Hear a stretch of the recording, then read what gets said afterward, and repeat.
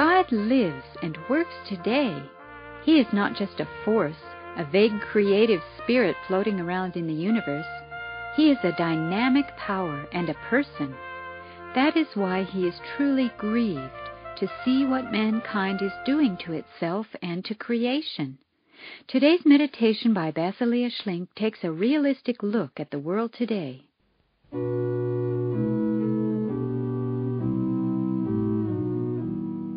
Darkness has come over the earth, but do we notice it? Until recently, the actions of men have been measured by moral standards of God. There's always been murder, brutality, and sexual perversion, yet previously, these things were always condemned in our Western civilization. Those who practiced them were excluded from society.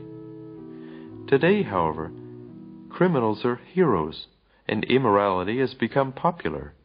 Newspapers and magazines boast the age of true freedom has finally arrived. Humanity can live out its instincts. Light, truth, honesty, and genuine love have almost disappeared. Our young people are threatened with obliteration in this slime.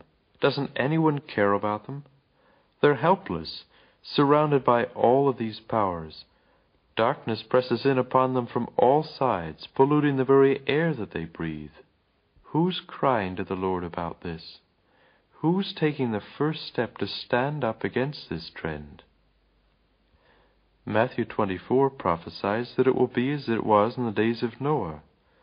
People were eating and drinking and getting married, and no one knew or paid attention to the warnings of God until the flood came and swept them all away. They knew not, they did not heed, this is prophesied as the condition of humanity for the last days. And it's true today. We're living in a time similar to that just before the flood, of which it is said that the entire earth had become perverse, and God's heart was grieved. Today, immorality is spread over the whole face of the earth.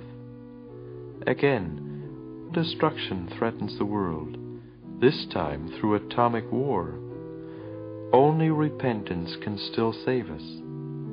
And this repentance must begin in the church, with each individual believer. This alone will hold back the flood of destruction.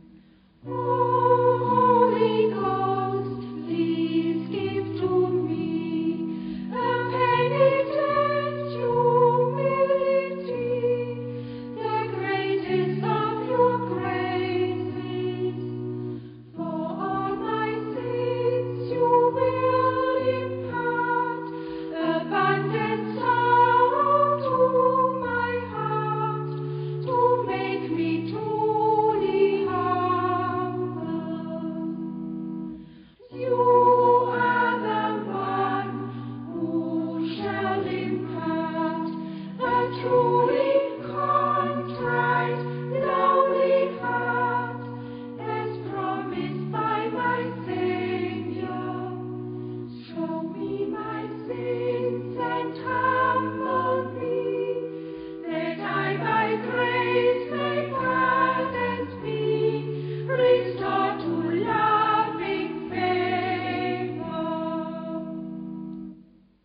You have been listening to a program written by Basilea Schlink of the Little Land of Canaan. To learn more about how God lives and works today, visit us at our website, www.kanaan.org. That's K-A-N-A-A-N dot org. If you contact us, we would be happy to send you a free inspirational booklet. If you do not have access to the web, please contact this radio station for our postal address. God bless you.